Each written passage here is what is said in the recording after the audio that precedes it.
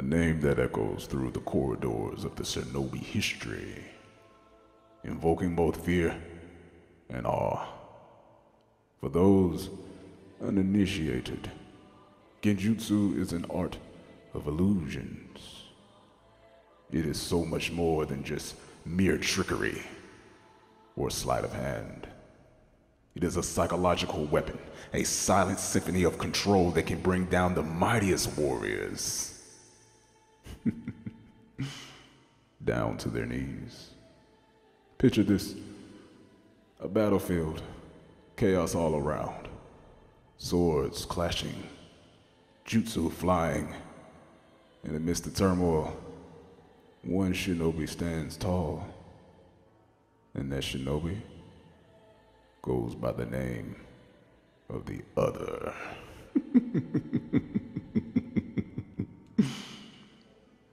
Pleasure to make your acquaintance, Mr. 81. You see, you don't know right now, but you have already been caught in my genjutsu. Soon as you stepped on this court to face me, you were caught in it. Oh, yes, get your points, make your buckets, shoot your shots. It's not going to matter in the end anyway. It never matters in the end. You see, unlike ninjutsu or taijutsu, which rely on physical powerlessness or elemental manipulation, Genjutsu targets the mind. It is the art of deception, exploiting the senses to manipulate perception. When caught in my Genjutsu, the victim may see, or in your case, hear, feel, even taste things that are not real. you see, your mind becomes a canvas, and I, the caster of this genjutsu, well, I am the painter, crafting a reality that is terrifying as it is convincing. You see, you thought you were going to win, didn't you? Yes, yes, you did. Don't lie now. You thought you were going to win. but I am a great caster.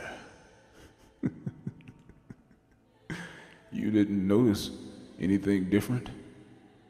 You didn't notice the people only cheering for me. You didn't notice?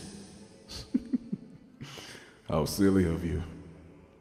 But you know what truly makes the genjutsu a suitable technique? Well, I'll tell you. A skilled practitioner as myself doesn't need any type of displays. I don't need any type of hand signal. Just a single glance, a whispered word, or some type of fleeting, almost innocent gesture. These, these things are enough to entrap you, whether you like it or not. you see, it is a dance of shadows where the line between what is real and what is not blurs until you, my unsuspecting victim, can no longer trust their own senses. Look where we are. Look what we have done. You, my willing participant. You will never leave. And I will always win. I'm sorry I made you think you had a chance. Actually, I'm not. oh, what's wrong? You thought that you were going to get the out of bounds call? no. You get nothing.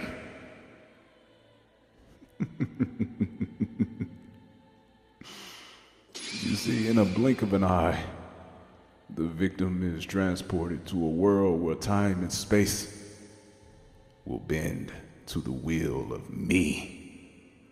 Seconds in reality stretch into days, months, even years within my genjutsu. Imagine the torment. Imagine the torture. You see, I am something that you cannot withstand. I am something that you cannot forget. You see, I just don't provide technique. I am the technique. and you, my second victim, understand something. The first victim I played around with. With you, little one, you will feel all the pain. Yuzi Genjutsu doesn't just only create illusions. No, no. It rewrites reality. The victim is unaware that they are under its influence, their thoughts, their actions altered to align with my will. It is the ultimate form of control. Bypassing the conscious, resisting everything that is in my way, and planting myself into your subconscious, deep, deep your subconscious. I am a puppet master. Just pulling invisible strings, shaping destinies to what I see fit. And yet, with all this power, Genjutsu is not without its weaknesses. I will admit that. It demands precision, a deep understanding of the human psyche. To wave a flawless illusion, I must anticipate every action, every thought, every move of my target. And you, little man, were easy to predict. You see, your awareness is a double edged sword. A potential key to breaking free is that you must realize that you are actually in the genjutsu. But what I ask is, who's next?